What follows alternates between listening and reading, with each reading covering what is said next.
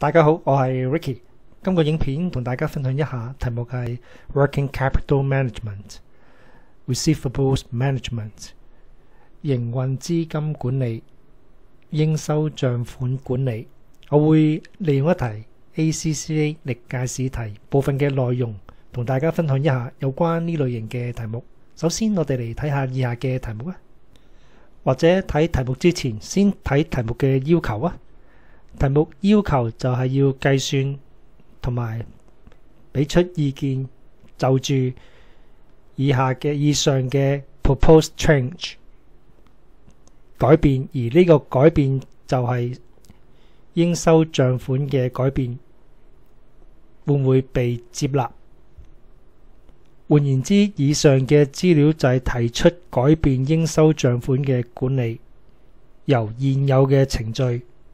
改為新嘅程序，而新嘅程序會唔會帶來公司嘅得益，導致到公司透過呢個應收账款嘅改動而被接納？我哋嚟睇翻題目嘅本身啦。題目就係有關應收账款嘅管理。有間公司 WQset。提出一個早還款嘅折扣一個 percent 俾佢哋嘅顧客。如果呢顧客三十日內還到款嘅話呢，就有一個 percent 嘅折扣。同時間透過改善呢個營運程序，而維持翻最多平均還款期六十日。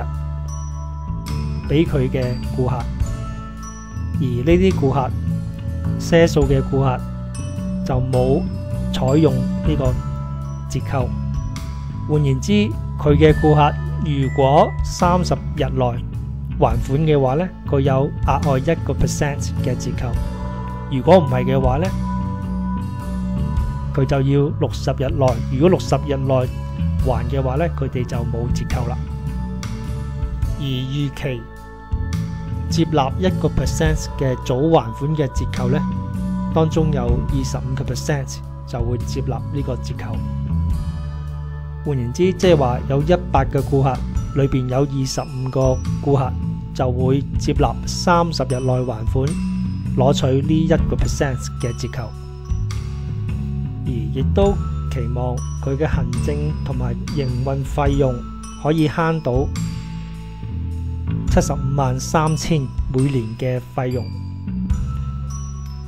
慳到嘅費用呢，由於就改善咗佢嘅營運程序，同埋提出咗以上嘅提早還款期，還款期提出一個 percent 嘅折扣，而呢間公司 WQset 佢嘅赊貨現時係八十七點六個 million 每年。八千七百六十萬每年，而佢現時嘅應收账款係十八個 million 一千八百萬，而佢嘅賒銷唔會有期望有改變。透過新嘅建議嘅應收账款嘅管理，換言之，即係話佢提出早還款一個 percent。就唔會影響到佢而家現時嘅賒銷，即係話嘅賒銷仍然維持七千八千七百六十萬，八十點六八十七點六個 million 維持不變。而呢間公司嘅短期財務成本每年係五點五個 percent。我哋嚟開始處理呢條題目啦。我哋處理呢條題目必須有個方向。呢個方向就係呢間公司改變咗嘅策略，而改變呢個策略嘅得益，新增嘅得益，相比起新增嘅成本作比較。如果新增嘅成本大於新增嘅成本，如果新增嘅得益大於新增嘅成本嘅話呢，咁呢個策略喺財務上就會被接納，相反就會被否決。換言之，即係話 incremental benefits 會大過 incremental 嘅 cost，而呢個策略就會被接納。換言之，呢條題目就係要計出呢間公司改變佢嘅應收賬款嘅管理帶來嘅得益，同埋佢牽涉到相關嘅成本作比較。咁即係話向呢個方向 benefits 同埋個 cost 作比較。首先先睇佢而家應收賬款收數期係幾多，即係話呢間公司改變佢嘅應收賬款嘅管理，提早收咗錢，提早收錢就係一個 benefits。現時佢應收賬款嘅 balance 係十八個 million，呢度睇到啦。現時嘅 trade receivable 係十八個 million。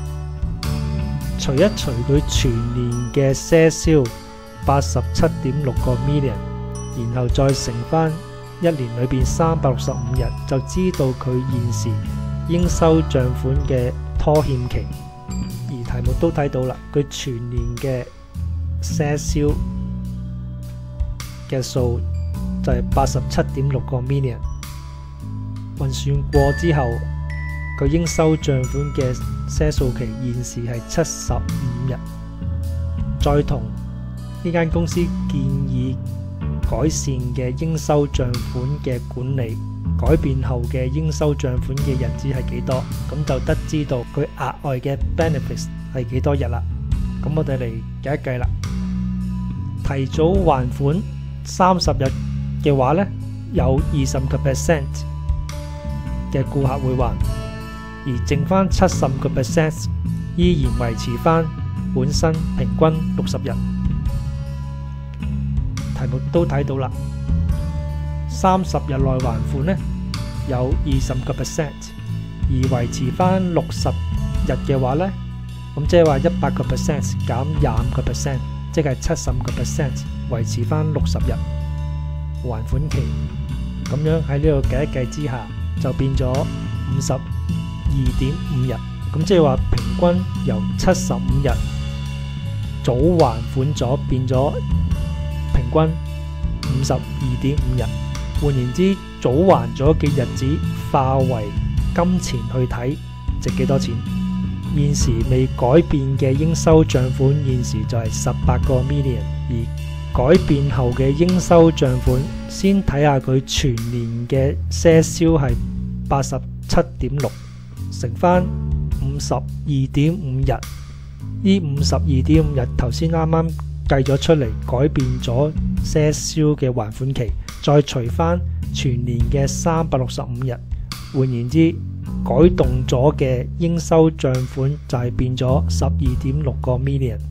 換言之，現時十八個 million 嘅應收账款減去新改動嘅應收账款十二點六個 million，相減之下就係五點四個 million。而呢五點四個 million 即係話減少咗佢嘅應收账款，換言之，即係早收咗五點四個 million。而呢五點四個 million 亦都變咗係減低咗嘅財務成本。即係話五點四個 million 乘一成嘅財務成本，每年五點五個 percent。題目都睇到啦，佢嘅財務成本就係每年五點五個 percent。乘一成之後就知道慳到二十九萬七千。除咗財務成本慳到之外，題目都提及到，亦都每年慳到行政。同埋營運成本每年慳到七十五萬三千每年，咁換言之，即系第二樣嘢 benefit 就係 cost savings，七十五萬三千有關行政同埋營運費用。兩個數字加起嚟就係 total benefits，二十九萬七千再加七十五萬三千，總數係一百零五萬。另外睇下佢帶來嘅 cost 成本有幾多啦。題目亦都提到有一個項目就係提早還款嘅折扣，呢個折扣就會給予俾啲顧客，呢個顧客早還款期早還三十日就有一個一個 percent 嘅折扣。咁計一計啦，現時佢嘅赊銷就係八千七百六十萬，當中有二十五個 percent 就會接受接受一個 percent 嘅折扣。咁換言之，換言之喺呢度運算之下，一個 percent 嘅折扣帶來嘅成本就係二十一萬九千。換言之，佢嘅淨得益就係將一百零五萬減去二十一萬九千，得出八十三萬一千。而呢個數值就係淨得益，即係話佢呢個 benefits 係大於佢嘅成本，所以呢间公司改动佢嘅应收账款嘅管理嘅策略就会被接纳。喺财务上，因为有一个净得益带来公司嘅价值。如果大家同学面对呢类型嘅题目，有关于 working capital management 嘅话呢，咁要从题目中要揾出相关嘅 benefits 同埋佢嘅 cost，然后再一个比较。